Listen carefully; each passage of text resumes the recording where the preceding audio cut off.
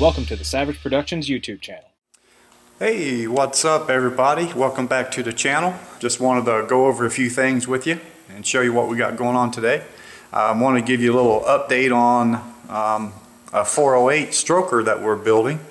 We did a video um, on that one uh, basically showing how to install freeze plugs on a motor. So um, at this point I'm basically uh, I'm kind of finishing the short block. Wanted to give you a couple little pointers on what to look out for when you're building uh, you know any motor at all when it comes to clearancing. So I'm going to turn the camera around and show you what we got. So on this one, uh, this is the one that we did on a previous video and um, we'll get a we'll leave a link below on on that video if you want to watch it it talks about installing freeze plugs as you can see the the brass ones that we use and then also the screwed in ones that whole video was pretty cool so check it out um, on this one we've got the short block completely done we went ahead and degreed the cam in and uh, so what I want to do now is I'm just checking clearance because I was going to install the oil pump. And we're also using a an ARP oil pump drive shaft, they call it. Very strong. And uh, it's really important to make sure that the clearance is good. So on the first thing I do is I'll drop a distributor in right here. I'll just snug it up. And then, it's kind of hard to see, there it is. So anyway, that is the drive shaft, or I should say that is the distributor gear that comes in contact with the cam. There's a gear on the cam. That's what turns the distributor. So what you want to do is you want to make sure when it's sitting down on the block, because it does sit down on the block right there, you want to make sure that there's enough free play up and down um, on the distributor. And most of the time there are. You know, they machine these, you get a good quality distributor and they, they'll fit just right. So you just want to basically snug this down and then you want to pull up and down on the, on the shaft. And while you're doing that, you obviously want to shine a flashlight down in there and you'll see, you're not going to be able to see it too good here, but you'll see that gear moving up and down. And you got to have at least you know, one and a half to two thousandths clearance. You obviously don't want too much clearance, but you got to have clearance where that gear rides down on the block. So that is one of the um, places that you want to check clearance. Let me turn this block over. As you can see, this is a this is a, a 78 351 Windsor block with a 408 stroker kit. Um, we showed you in the last video too on some of the clearancing that we had to do. And check that out. This one obviously has, you know, a main support system. You also want to check clearancing on that, which it, it comes pre-clearanced. Um, so the other thing you want to do is the oil pump shaft. This oil pump shaft here, you can see how it's got it's got a little uh, lock washer on there. That's adjustable. It will go down. See that? You can see down that round area down there. That is where the distributor is sticking down in the block. And that fits down in it. So you want to sit that down in there all the way down. And the reason that that washer is there is so if you pull the distributor out from the top, this rod won't come out with it. Because if it comes up out from the top, you'll play hell getting this back into the distributor. But anyway, you want to put we put that in there. You want to get the oil pump Of course, I'm not putting it on permanently now. There's a gasket that goes in between there. You want to get this oil pump lined up on the shaft. And as you can tell, see it doesn't want to go all the way down. So the reason it doesn't want to go all the way down is because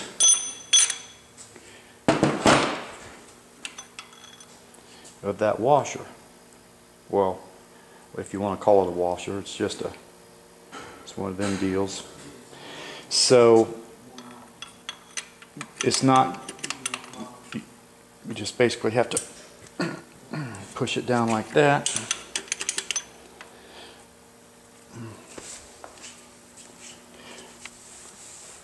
Let me get my little dead blow hammer.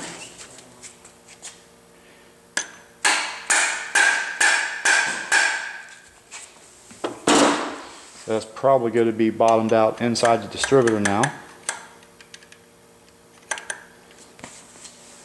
Look down in here and see.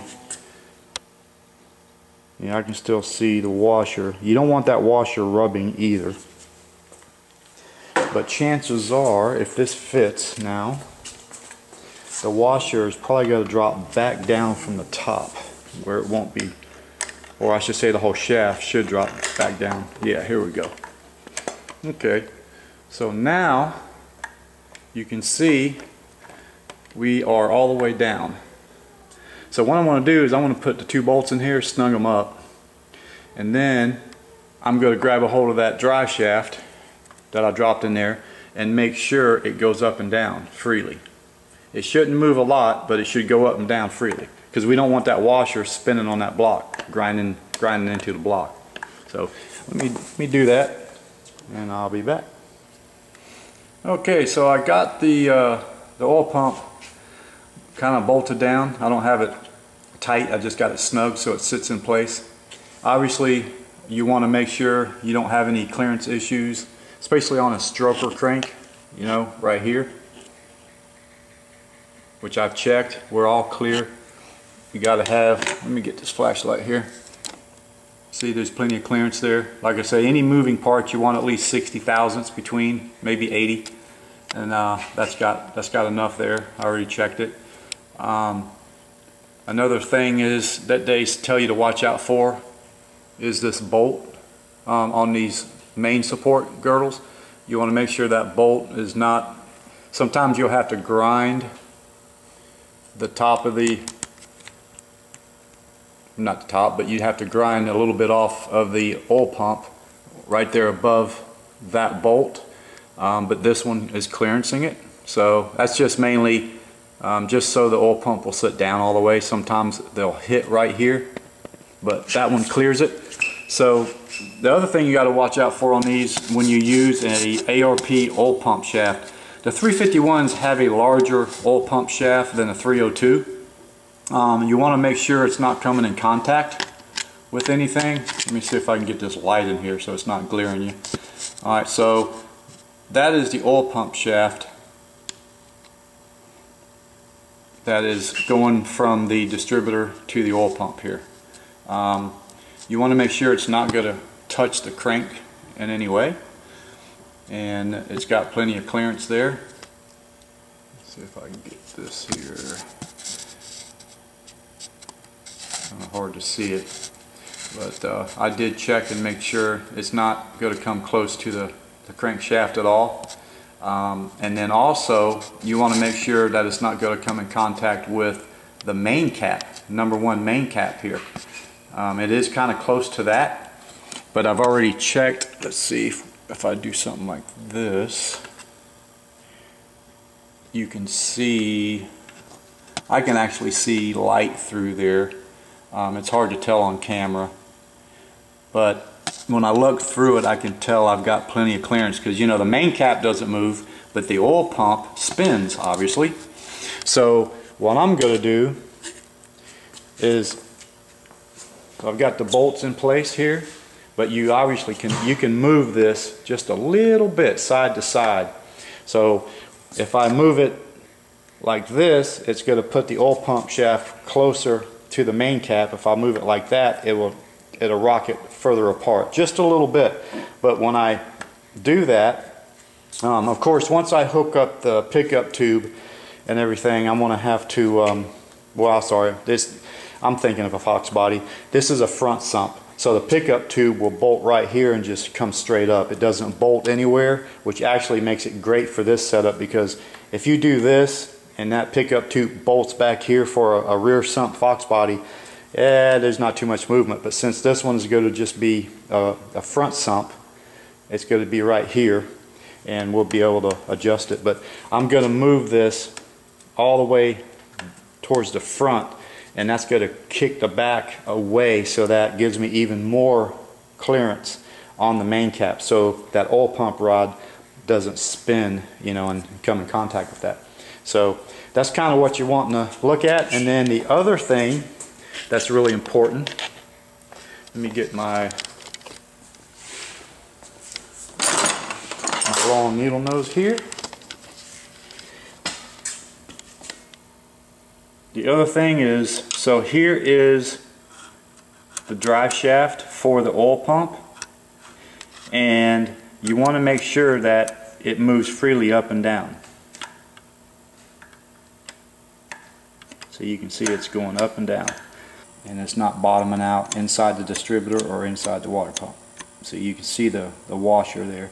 That's about what you want because obviously when the motor is sitting right now it's upside down but when it's sitting right side up it's going to be just like that and then that washer will not be grinding on the block a lot of guys will put them in now think about it and they won't move the washer towards the bottom or down far enough and that thing is sit there and just grind on the block make all kinds of shavings. So you just want to make sure that that is you know got enough play there where it doesn't do it. And then obviously you want to spin the crank over make sure we have no issues with clearance anywhere. Um, and if you look see these these oil pump rods are so thick they're so big you know they can cause problems. Um, so you kind of want to make sure you don't have any clearancing issues. Like right there the actual crank it's really close right there. But I can see that there is more than 60 thousandths. It's probably right about 60 thousandths. Kind of hard to get a good visual here with this camera but um, I am going to stick a uh, a feeler gauge down in there but uh, I can tell it's got plenty of clearance because like I say not only is that crankshaft spinning but that oil pump rod is spinning so you want to make sure there's nothing going on there. And then also where we talked about the other way, you want to make sure it's not touching on that main cap. Main cap doesn't spin, but the oil pump rod spins. So there's plenty of clearance there. That's why I want to have this rocked one side. But so if you you don't really you don't really have to do an ARP. Um, you know these are a little bit more critical because they're so big compared to a 302. Um, so the stock oil pump rods are pretty strong, even though you know they are larger.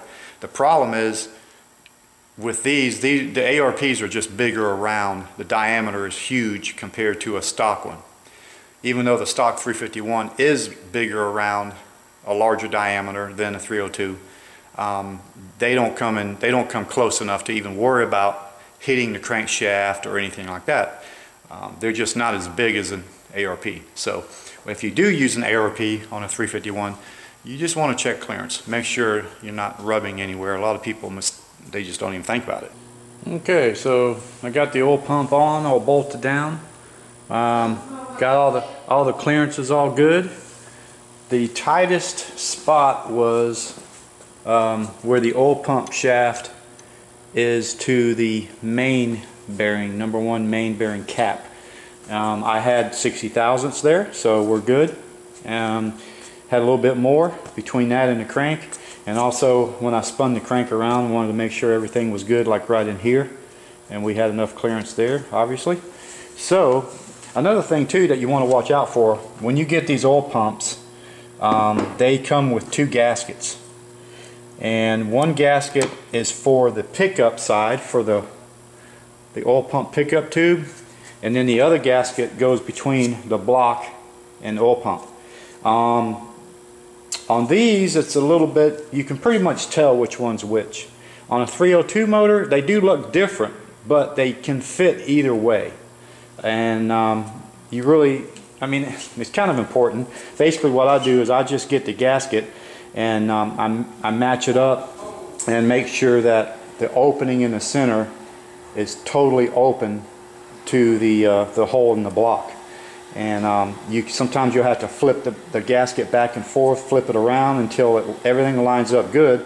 Because um, if you just put it on there, you might have a little bit of the gasket overlapping over the hole. You really don't want that. So make sure you get the gasket where it needs to go. Now this one is definitely a different one. Um, the bolts that go into the block are larger and it's usually like that on the 302 as well. But on this, this gasket you know, like I say, you can get this gasket and put on here and vice versa. Um, but you do want to make sure that you got the right one. This gasket had larger holes for the larger bolts. This gasket has smaller holes for the smaller bolts here. And, you know, you also want to put it on here and line everything up and just make sure, you know, that you don't have any overlap like, like this. That seems to happen a lot. Sometimes you'll have to trim the holes where the bolts go to get that inside or outside of that hole correctly. Um, sometimes you have to flip them around because the hole in the center of this gasket may not be perfectly centered um, when they make them. It's just the way the machine stamps them out. So you want to check that. That's another thing you want to do. And also, so we're using a Canton oil pan for this. It's a front sump because it's in an old truck. And like I say, it basically just bolts on here like this. But if you notice, this thing has a notch in it. So just like that has a notch for the for the crankshaft. So when you bolt that on, you want to make sure that there's no interference anywhere on the crankshaft or right here as it rotates around. These do they don't they don't have a problem at all hitting so um, but that's just another little something that you want to watch out for. Okay, well I'm back the next day. Um, went ahead and got quite a bit of stuff done on this motor. As you can see, I just finished putting the oil pan on and um, I got the front cover on. I got the harmonic balancer pressed on. Um, I've already checked all the clearances with the oil pan to crankshaft, um, the main support system that's in there, the girdle, main support girdle, and uh, everything checks out really good. So I want to kind of show you what I've got done here and um, kind of show you what's going on with the timing covers on these old 351s. Went ahead and got, like I said, I got this all pressed on, got it torqued down, um, got everything lined up perfect. Right now I've got some silicone. This particular gasket calls for a little bit of silicone on the top and the bottom. It's an old school gasket. Um, it would probably be fine, wouldn't leak, but I didn't want to take no chances, so I just put just a little bit on the top and the bottom of it. Uh, not very much, just a little, just a little bit of a skin there. Um, so what I, I don't have the, the water pump on yet, but what I normally do is I'll put a little silicone around the block where the, the water goes through. And then I'll also put a little bit of silicone on the, um, between the timing cover and the gasket, you know, so uh, that way it seals the water up good because uh, these get pitted in here, um, especially on the block side, so you want to make sure you have a little silicone there on the gaskets on both sides of the gaskets. And um, so what I do is I just run some bolts in here to snug it up um, you know, and then once everything sits for about, I don't know, 30 minutes or so, then you can go ahead and tighten them down. So I've got everything tightened down good. Got the, uh, the pointer on here so to set the timing. Um, yeah, so uh, everything's been on here. It's been set up. It's all good. I'm, tomorrow I'm going to come back, take these off, go ahead and put the, the water pump on. And uh, that way the front of the motor will be pretty much done. So this one takes a mechanical fuel pump and originally we were going to put a fuel pump on here, a mechanical one. I think it's an 85 gallon per hour pump. Um, but I, I think what we're gonna do, we're gonna put, buy a nice block-off plate on here, just like we did on that 427 motor. And we're gonna go with electric fuel pump on this thing, because, you know, mechanical fuel pumps, they, they will rob horsepower. It takes power to pump the, uh, the arm on the mechanical pumps. This is just an extension, just like on the Fox bodies, there's an extension that comes out for the oil pressure sending unit. I got to get a new sending unit. The other one was pretty nasty looking, and I'm gonna just put a new one on there. They're not that expensive, but um, but it really looks nice. Um, this oil pan is a front sump for the old truck. It's not a um, seven quart. It's actually a six quart pan, which would be fine and it will fit in the truck just fine even though it's a little bit wide but it has a baffle in it and everything. That's why we went with this one. But uh, yeah it actually came out really nice. And I've got the heads on. I don't believe I had the heads on when I was uh, doing the clearancing on the oil pump but I've got the heads on. Let me go ahead and roll this motor over. So that's what it looks like right side up. Nice oil pan there I really like the way that looks. It's going to look really nice with the water pump. This is the water pump here. It's actually going on it. It's the old school style for the V-belt. Um, yeah, I just got to get that on there. That'll look really nice, with uh, especially with all the pulleys painted black. And let's see, so I got the heads. I've already checked piston to valve clearance. Everything's good there. Um, I've got these already set. Um, none of these are, they're still loose. Um, basically, had the lifters in there, put the push rods in, or one push rod actually. I measured for push rod length, so I got to get those in. But I used my checker and my push rod checker, and I, I put it in here and um, basically squared, make sure everything was squared perfectly so it rides evenly on here and then you tighten these up. These are a little bit of a pain because they're two, you know two separate pieces. So every time you tighten them, it tries to turn them. Um, there's you know you just have to take your time and keep rechecking, rechecking to make sure that when the push rod is in, you have that adjusted so the roller rocker will ride in the center of the valve stems. Um, we actually did a video on that on how basically to um, you know, get the push rod centered up and everything and adjusting the rocker arms. So um, go ahead and check that out. If you haven't subscribed, go ahead and subscribe to the channel and you can go through the, the different videos and you'll be able to see it. We'll put a description in the uh, link below it, just so you can click on if you want to see how that's done. But yeah, other than that, I mean, pretty much ready to go here. Um, I want to go ahead and uh, order up the push rods and get the get the lifters dropped in. I've got them soaking in oil here. So we're using, uh, you know, this is going to be a hydraulic roller cam. And since this is not a roller block, it doesn't have, it doesn't have, you know, any of the screw holes here. You got usually one on this side, one in the front for um, the spider that holds the roller rockers from turning on late model 351s and um, 302s. So instead of, you know, using that, there's actually a retrofit kit you can buy, but you'd have to drill a hole in here and tap. And it's kind of thin in here, so I really don't want to do that. Um, I just, you know, we just go ahead and spend a little extra money and get link bar hydraulic roller lifters. These are really nice. They're high performance. Um, these things are good for about 7,000 RPM, 6,800 RPM actually. Um, they're not a short travel, but they are a good hydraulic roller lifter and they will withstand some, some RPM for sure. So we're just got to have them soak in there for a while and then uh, by the time I get the push rods in. Uh, I'll be ready to get those in there and then I'll get these all centered up and lined up where they got to go and yeah at that point it'll be ready for the for the uh,